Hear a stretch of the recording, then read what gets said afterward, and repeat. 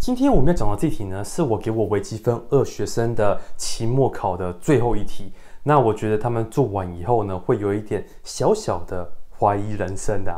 那我们来看一下哦，来，这是第二十题。今天我们要看的主角呢，是这个函数，这个叫做 hyperbolic cosine x，简称 cos x。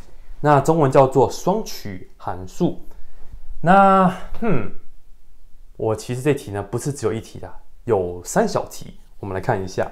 首先，第一小题 A 呢有四分，那看上去还蛮不错的吧？但是总分呢是两百分。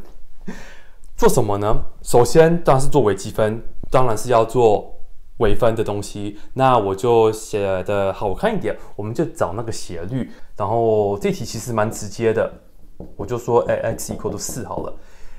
因为我们就只要对这个进行微分，然后拿到它的导数，然后再把四放进去就可以了。我们的函数是 cos x。那如果我们知道它的导数是什么，我们就真的可以马上做出来。那小心一点，这个 hyperbolic cosine x 的导数呢是正的 hyperbolic sin x。因为一般的那个 cosine x。它的导数是负的三 x，就要小心一点，因为这个是 hyperbolic version 的，所以是真的是正的。那我们也可以稍微证明一下啦，因为 cos x 的时候是等于一的 x 次方加一的负 x，然后除以二。所以我们如果对这个进行微分的话呢，除以二还是除以二没问题，因为只是一个常数。那一的 x 次方对它进行微分，我们还是拿到一的 x 次方。那一的负 x 次方呢？我们也先拿到一的负 x 次方，但是不要忘记那个连锁率，我们要乘以这个的导数，所以就要乘以一个负一在这边前面，所以就变成负的。那你看这个的导数是这个，那这个的定义就刚好是 sin 学 x 的定义，所以就是这 sin 学 x。那接下来呢，我们就可以把四放进去，我就写 f prime of 四，那我们就知道这个叫做 sin 四。那我可以就用计算机把它算出来。我让学生用计算机，所以呢，他们就可以放在计算机上面算一下，这个就大概等于二十七点二十九，那四分就拿到了，蛮不错的吧？来，第二小题呢，做完这个 derivative，当然是要做些 integral 嘛，所以第 第二小题也是四分。要做积分的话，当然是要讲一些几何的，当然是要找面积，所以我就出来，我们说 find the area under the curve，我就不写那边了哈，我就直接写说从 x 等于零到 x 等于四，那这个呢就直接赶快做积分，然后把零跟四放进去嘛，所以我们对这个 cos x 进行积分。那他们其实只要呢把这个积分写出来，然后接下来就可以用计算机就可以了。如果他们这样子做的话呢，他们会看到答案大概是二十七点二十九。哎，有没有发现这个跟这个其实是一模一样的数字？呀，对，蛮不错的吧？哈，好，那接下来当然呢，第三题。第三小题 C 我就写在这边，这个稍微多一点分，这个五分，five points。那我要做什么呢？在微积分二上面呢，除了找斜率跟找面积之外呢，我们还要找那个弧长。所以第三小题呢，我就叫他们找弧长，所以就说 find the arc lengths。那这是 arc length。然后我们也要从零到四，所以放 x。等于零到 x 等于四，那这个呢也是需要用积分，有点小小的复杂，但是没有那么难。就是 L 就是那个 r length 的意思，积分从零到四，先开个根号，然后里面放一加什么东西的平方，然后再 dx 呢？这个我们要对这个函数进行微分。那我们刚刚说过了。Cos x 的微分是 sin x，所以我们就把它放进去，然后再平方它，然后就把这个积分建立起来了。我有点小小故意让他们就用计算机做这题了，因为我知道你们大家已经知道了。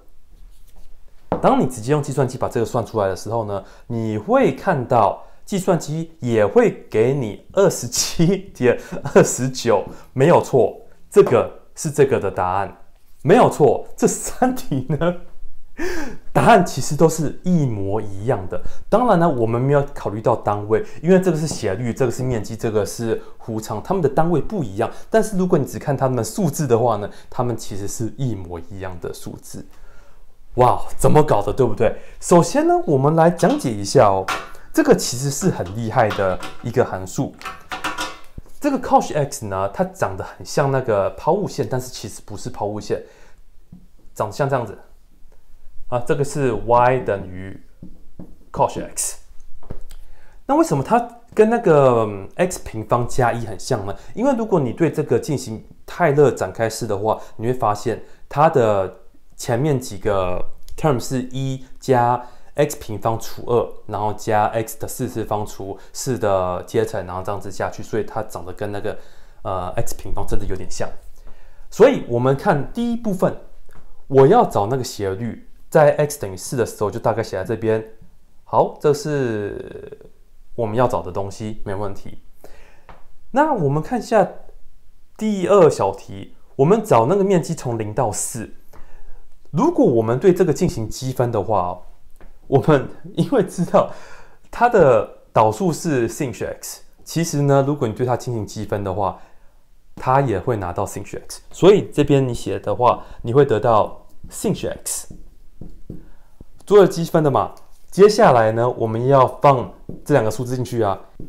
那我给你们讲个秘密哦，sin 零呢，其实等于零。你可以把这个零放进去，你就会发现 sin 零就是零。所以呢，这个真的会是让我们拿到 sin 四。所以这个跟这个是一模一样的答案。那我们这次边是要找面积。如果我们看面积的话，是从这边到这边的面积，所以是零到四，它这边的面积。所以这个的数字的答案跟这个的斜率的答案是一模一样的。那接下来呢，找弧长。弧长的话，我就是赶快画一下给你们看，从这边到这边，然后零到四嘛。所以我们要找这边到这边的弧长。